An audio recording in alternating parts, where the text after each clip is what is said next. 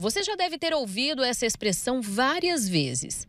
Mas afinal, o que é inteligência artificial?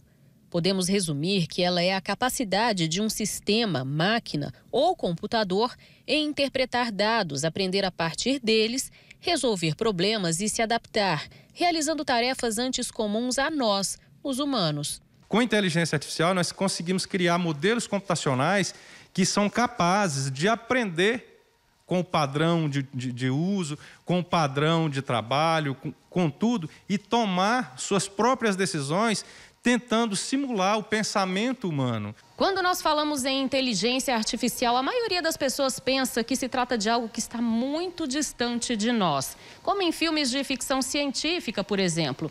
Mas, na verdade, a inteligência artificial está mais próxima de nós do que podemos imaginar. Está aqui, ó, ao alcance das mãos. Quando a gente utiliza o smartphone, por exemplo, e fazemos o reconhecimento facial, ou então usamos a biometria. Quando você assiste filmes naqueles aplicativos e logo vem uma sugestão baseada naqueles outros filmes que você já assistiu, aí também entra a inteligência artificial.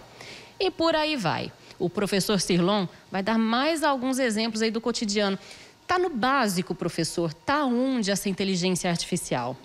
A inteligência artificial, Mônica, como você falou, ela está no nosso dia a dia, muito mais presente do que a gente imagina. Quando você está procurando um roteiro e pede para procurar a melhor rota, é como se alguém estivesse explicando, mas por trás está a inteligência artificial fazendo o sistema de geoprocessamento, analisando o melhor caminho e aprendendo, porque cada vez que você usa o seu localizador e etc., o sistema está entendendo o seu comportamento. O mercado é amplo e está em pleno crescimento.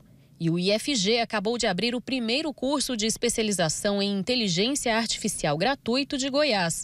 A carga horária é de 420 horas e duração de no máximo 24 meses, sendo 12 meses para cursar as disciplinas e o restante para o desenvolvimento do trabalho final de curso. A instituição tem como público-alvo graduados em cursos superiores reconhecidos pelo Ministério da Educação nas áreas de ciência da computação, engenharia de computação, engenharia de software, sistemas de informação e também tecnólogos da área de tecnologia da informação. As linhas de pesquisa são em aprendizado de máquina, redes neurais profundas, visão computacional, big data e computação em nuvem, recuperação de informação, reconhecimento de padrões e pesquisa operacional.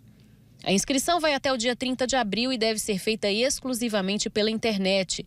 Basta acessar o endereço ia.ifg.edu.br. Nós tivemos uma procura bastante grande, tá? É, tivemos mais de 200 candidatos aí e isso foi, acho que é, as nossas especializações, a gente tem uma boa procura, mas especificamente essa especialização realmente nos surpreendeu. A intenção da instituição é preparar estudantes para que sejam capazes de transformar conceitos, teorias e ideias de aplicação da inteligência artificial em soluções práticas para diversas áreas, como a saúde, educação, logística, pecuária, negócios em geral. A Aline é uma das interessadas. Já trabalha com isso e vê uma grande oportunidade de crescer profissionalmente. Eu vinha já com um interesse muito grande de aprofundar os estudos, né?